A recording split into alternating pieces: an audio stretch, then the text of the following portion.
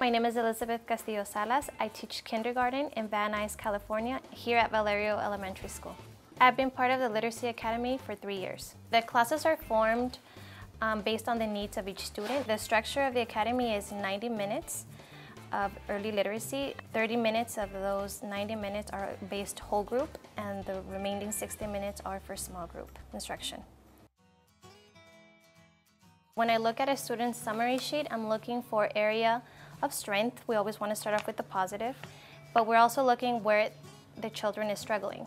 So we want to see if they are struggling with phonemic awareness, then that's an area that we have to work on and make sure that we pull those children together or cluster them and put them in a more cohesive group.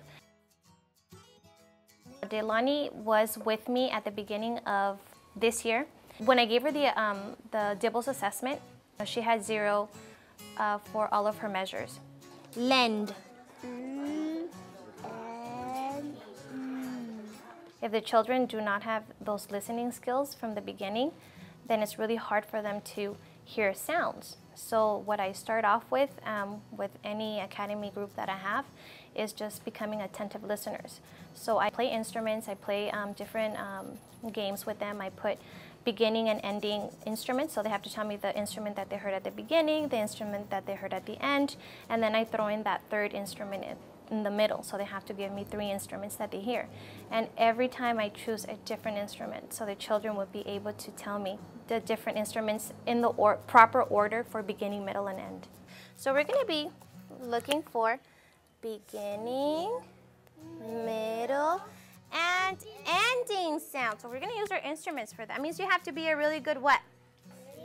Listener. And we have to really listen carefully to hear those sounds. Are you ready? If they're struggling with um, segmentation, then are they missing that medial sound? Are they only giving the last sound? Are they giving only the beginning sound? We can get really specific uh, information in those um, assessments to see exactly where is it that they're struggling. Open. What was the beginning sound, Cesar? If they got that, then we go ahead and we move to phoneme segmentation, which would be like um, segmenting the words um, and then moving on from there. The word is he. Let's do it together. E. Touch it. E. Blend it.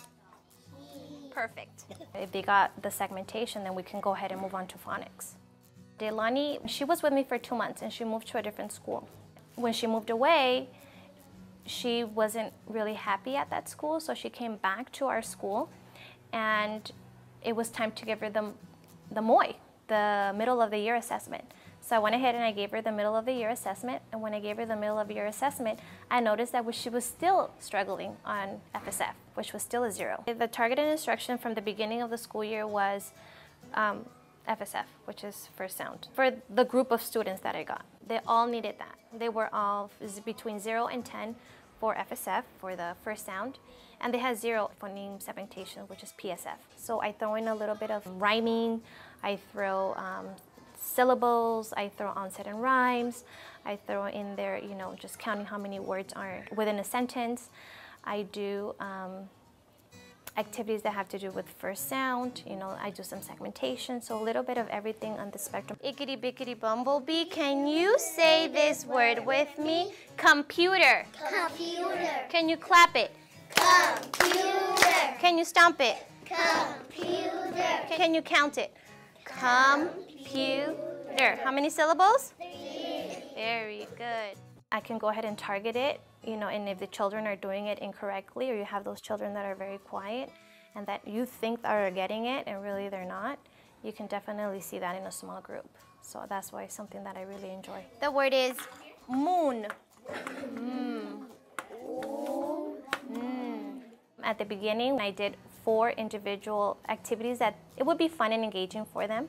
So I went ahead and I had Play-Doh at the beginning. I had, you know, just tracing the alphabet.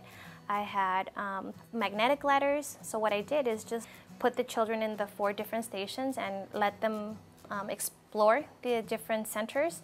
I would put a timer and then they would move through the next station, and all I was doing was being the facilitator, making sure that they were doing it correctly, making sure that they were staying on task. I would help them and guide them the correct way. These were very simple activities. It wasn't a specific targeted skill. It was more like tracing the alphabet, um, matching capital with lowercase letters, um, just finding a few, um, using the Play-Doh, fishing for letters, just very basic. Once they've gotten that, then I went ahead and uh, during my small group instruction, I taught them one of the games that we I wanted them to do independently. So then I was able to pull out a group while three of them were still working independently. Um, another activity that they do is a dice game, and they and they roll the dice, and if it has that, um, it lands on that number. They read me all the words that are within that row of the dice, and they love playing that. Progress monitoring is an assessment through our DIBELS, and it gives us an idea if my instruction is working toward, to meet the needs that they have. So um, every two weeks I progress monitor them, making sure that they're getting the skill, if their phonemic awareness is getting stronger. And if it is, I go ahead and, and plan my next instruction for the next developmental skill that they need. If I see no growth, then I have to go back and see other ways that I can teach that skill so they could be successful on the next ones that are coming along. An activity like, let's say the children are not getting first sound, okay, and I've tried fingers, you know, I tried counters. Um, there's different ways of, I've tried linking, um, those uh, linking, stretching. I would probably use the head and their, their whole body. So just a different, it could be something very minor that the children might get. So maybe we can try that. It could be a small adjustment and they would totally, oh, something will click, hopefully.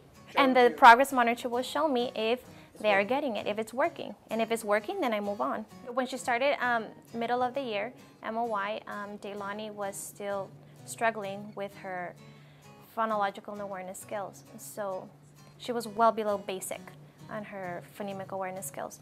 The beauty about the academy was that we were able to target her instruction in her phonological awareness. Deilani has made tremendous progress. From zero FSF, she has the last progress monitoring that I did, I believe she had 56 on her FSF, and her phoneme segmentation was at zero at the middle of the year, and now I believe it's up to 30. So she's doing, she's almost reaching benchmark. So I'm really, really happy with her progress.